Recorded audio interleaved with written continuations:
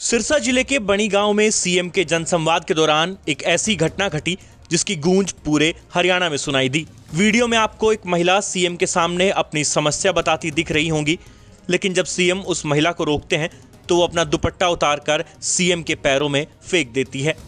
इसके बाद महिला को बलपूर्वक स्टेज से नीचे उतार दिया जाता है। इस महिला की पहचान बणी गाँव की सरपंच नैना झोरड़ के रूप में हुई है।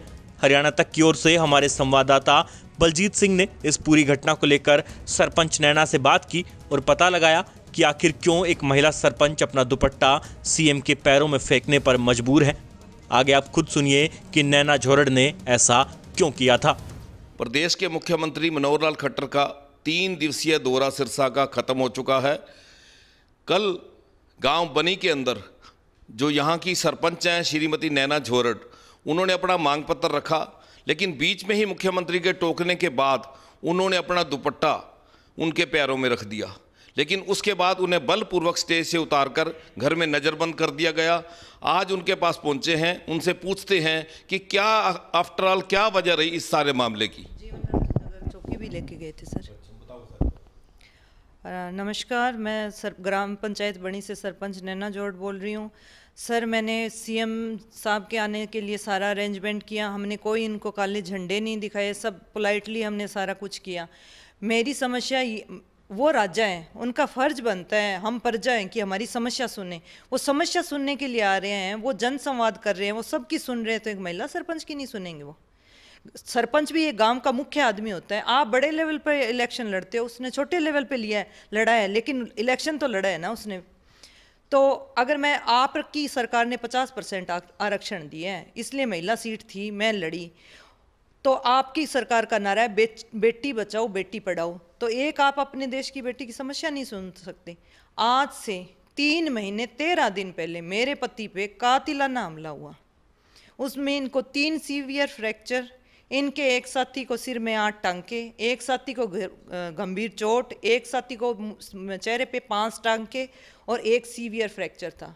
तो अभी तक उनकी कोई गिरफ्तारी नहीं है। दोषियों की उल्टी हम पे ही चार सौ बावन लगा दी गई है। सुप्रीम कोर्ट ने भी आत्मरक्षा का अधिकार दे रखा है उनकी तो पहले से प्लानिंग थी, इसलिए उन्होंने घर में धारदार हथियार जमा कर रखे थे। वो खींच के अपने, मेरे पति को अपने घर की तरफ़ ले ले जा रहे थे।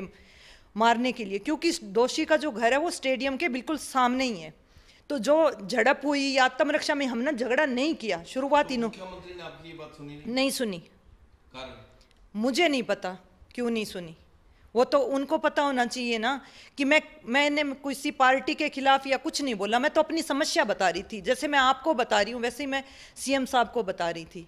कि आज हमारे गाँव में तेईस साल बाद आए हैं, क्योंकि डीसी साहब को दो बार मैंने कर लिया। हमारी जाँच को इधर से उधर पटका जा रहा है। मानसिक तौर पे हमें ही परेशान किया जा रहा है। चार सौ बावन किस बात की जब हम घर में घुसे ही नहीं, जो झड़प हुई है, वो गली में हुई है, उनके पास बड़ी बड़ी कुलाड़ियाँ थी तो इन्होंने बचाव के लिए जो कुछ किया, उनको मामू, एक जने को मामूली, एक दो जने को मामूली चोट जोड़ लगी है, उसको, उनको फ्रैक्चर बताया गया है। और हमारे जो फ्रैक्चर है, उनको मामूली चोटें बताई गई है। इस सारे झगड़े के पीछे कोई राजनीतिक कारण है? अब जी वो हार गए हैं हार बर्दाश्त नहीं हो रही है और कोई कारण नहीं है। और वी, वीडियो के तौर पर हमारे पास सारे सबूत मौजूद हैं कि झगड़ा या झड़प कहाँ पे हुई वो झड़प कहाँ पे हुई है। आदमी वो पच्चीस जो दोषी है विनोद पुत्र जसपाल वो 25 जनवरी को पंचायत घर में मुझ पर हमला करने के लिए लोहे की रोड लेके पंचायत घर के अंदर आया था। कोई पॉलिटिकल कोई गॉडफादर की है सकती है जी मैं किसी का नाम नहीं लूँगी। मुझे नहीं पता। इस बारे में मुझे नहीं पता कुछ भी। तो सरपंच साहब एक मुख्यमंत्री ने ओटू में प्रेस कॉन्फ्रेंस करके एक बात कही भी कुछ लोगों का काम होता है खलल डालना प्रोग्राम को खराब करना। तो उस पर कुछ कहेंगे? मैंने प्रोग्राम में कोई खलल नहीं डाली। मेरे हस्बैंड के साथ जो कातिलाना हमला हुआ है उनकी वीडियो सब मैं आपको मतलब उपलब्ध करवा सकती हूँ सारे सबूत हैं सब केस चल रहा है हमारा। मेरा कोई वो नहीं था मेरे को कोई सीन क्रिएट नहीं करना था। वो सब है हमारे पास इनको चोट लगी हुई है सब है। सारी तो पुलिस ने आपकी कोई सुनवाई नहीं नहीं करी जी कभी हमारा पहले डब्बोवाली में केस था वहाँ चक्कर मरवाते मरवाते अब सिरसा में भेज दिया गया हमें। फिर चार सौ बावन हमारे ऊपर किस बात की? फिर सर आप मेरी बात, पूरी बात सुनिए। पच्चीस जनवरी को वो आदमी विनोद पुत्र जसपाल रोड लेके पंचायत घर में मुझे मारने गया। मैं अंदर ऑफ़िस के अंदर बैठी थी। ये लोग सर्दी थी, इसलिए धूप में बाहर बैठे थे। काफ़ी लोग थे। वो वहाँ से चला गया। उस वक्त हमला नहीं कर पाया। इस बात की भी वीडियो है हमारे पास। तो उसी दिन शाम को मेरे हस्बैंड ने करीवाला चौकी में ये एफआईआर दर्ज करवाई। इस आदमी से मेरे को जान का खतरा है। ना ही तो उसको पाबंद किया गया, ना ही उस पर कार्रवाई की गई। ठीक नौ दिन बाद तीन फरवरी को उस आदमी ने कातिलाना हमला कर दिया। और हमारे गाँव में खेल महाकुंभ था। पुरस्कार वितरण समारोह के दौरान सार्वजनिक जगह पे इन पे हमला हुआ है। नहीं तो मान लो पुलिस आपकी राजनीतिक दबाव के कारण नहीं सुन रही तो आप कोर्ट की शरण में क्यों नहीं जाते? कोर्ट की शरण में आपको पता है कोर्ट में हमारे कितने केस पेंडिंग पड़े हैं? हमारे पूरी कोर्ट में कितना दबाव है? पूरे इंडिया में। कोर्ट में भी क्यों, क्यों ऐसी क्या है इत- इतना बड़ा क्या है जो पुलिस न्याय नहीं कर पा रही? पुलिस के बड़े अधिकारियों से मिले हाँ। जी मैं डीसी साहब से मिली हूँ एसपी डीएसपी सबसे डीसी साहब को तीन बार मैं अपनी ये शिकायत दे चुकी हूँ। कोई कार्रवाई नहीं। तो आज तो एसपी साहब ने आदेश दे के एएसपी को जाँच मार अगर की है तो बहुत अच्छी बात है। मैं इसी हिंदुस्तान की बेटी हूँ सर। मैं पाकिस्तान से नहीं आई। अगर सर ये सरकार कहती है बेटी बचाओ बेटी पढ़ाओ तो अपनी बेटी को न्याय दे दो। मुझे निष्पक्ष जाँच और न्याय चाहिए। मेरे किसी कोई पॉलिटिकल पार्टी के साथ कोई रंजिश नहीं है। मेरा किसी के साथ कोई झगड़ा नहीं है। आपका किसी पॉलिटिकल पार्टी से नहीं किसी से कोई नहीं है मेरा।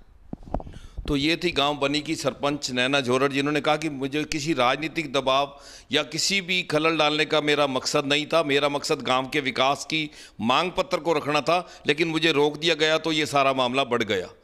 हरियाणा तक के लिए सिरसा से बलजीत सिंह।